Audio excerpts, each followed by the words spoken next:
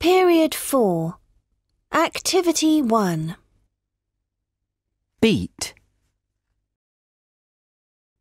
Chart. Gentle. Heart. Injury. Out of breath. Rate. Sensible. Warm up. Word formation. Act. Active. Activity. Healthy. Health.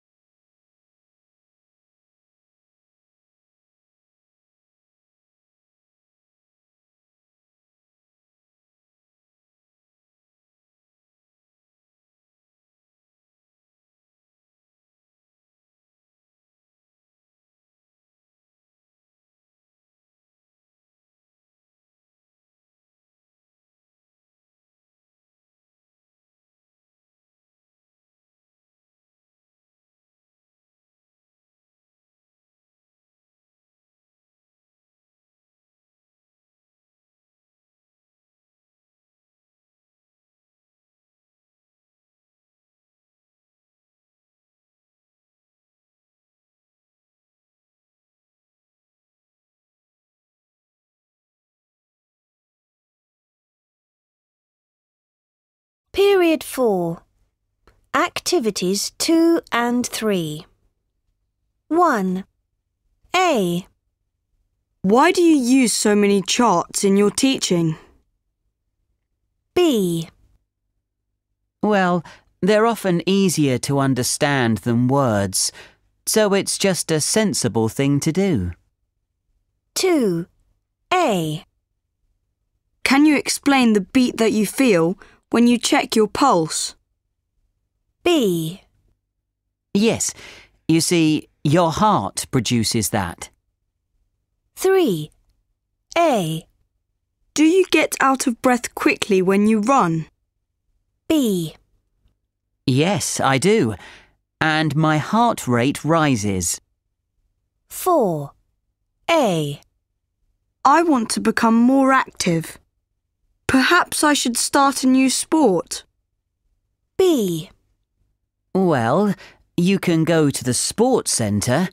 They have various activities that you can choose from. Good idea. And I'm sure it'll be good for my health if I can get fitter. 5. A.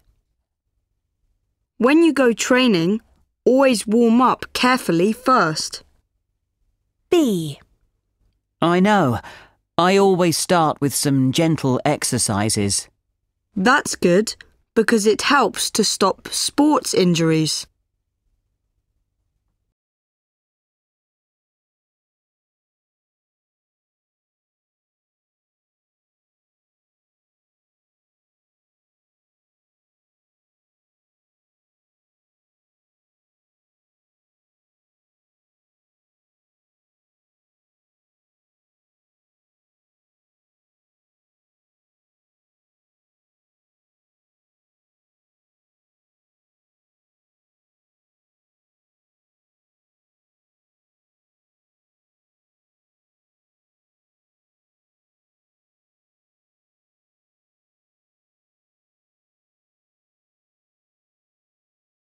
Period 4.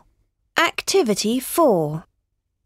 Now, Dr. Blake, there are some older people who worry that young people today are not fit enough and not healthy enough. They say their lives are too soft and too easy. They think that they watch too much TV and they don't get enough exercise. What do you think? Well, some young people may be like that, but I don't think most young people are. And every year, young sports people do better than ever before.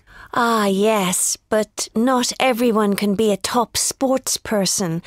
How much exercise should a normal young person do? You don't need to do hours of hard training every day to be healthy. About half an hour of exercise is enough. But you need to do something active enough to raise your heart rate, to make your heart beat faster, and to get a little out of breath.